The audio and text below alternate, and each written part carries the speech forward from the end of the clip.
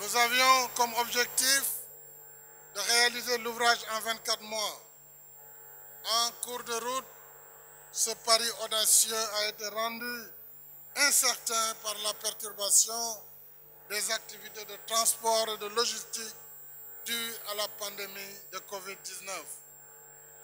Mais avec notre partenaire Souma, nous avons décidé de maintenir, vaille que vaille, le délai initialement fixé.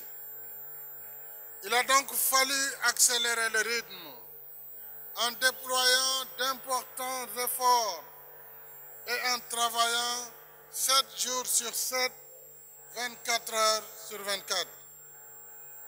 Les travaux n'ont finalement duré que 17 mois au lieu de 24 prévus. Et nous devons cette performance exceptionnelle aux 2500 hommes et femmes, dont 70% sont des Sénégalais, tous métiers confondus, qui ont uni leurs forces, leur intelligence et leur talent pour réaliser ce bel ouvrage en 600 millions d'heures de travail. Ils méritent certainement nos applaudissements. Merci beaucoup.